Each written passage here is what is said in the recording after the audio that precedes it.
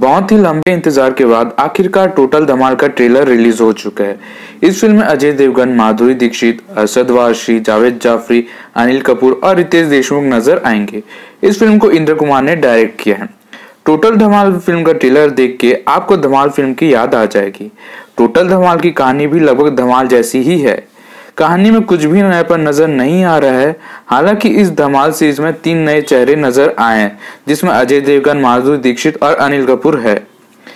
इस फ़िल्म के सबसे बड़ा प्लस पॉइंट जो है, वो है इस फ़िल्म की स्टार कास्ट जो फ़िल्म को हिट करवाने के लिए काफ़ी है। इस फ़िल्म में कुछ नए कॉमेडी सीन्स क्रिएट किए गए हैं और फ़िल्म के वी ही इस फ़िल्म की सबसे बड़ी ताकत है।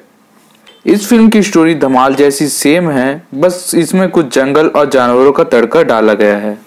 इससे पहले अजय देवगन की कॉमेडी फ़िल्म गोलमाल अगेन ने 200 करोड़ क्लब में एंट्री की थी तो इस फ़िल्म से भी उन्हें काफ़ी उम्मीदें हैं। आज के समय में फैमिली मूवी बहुत ही कम देखने को मिलती है तो इस फ़िल्म को फैमिली के साथ भी देखा जा सकता है। आपको बता दूँ कि इस फ़िल्म के लिए म्यूज़िक हिमेश रेशमिया ने दी है, और ये फ़िल्म 22 फरवरी को रिलीज़ होगी। आपको ये ट्रेलर कैसा लगा, हमें कमेंट करके ज़रूर बताएँ।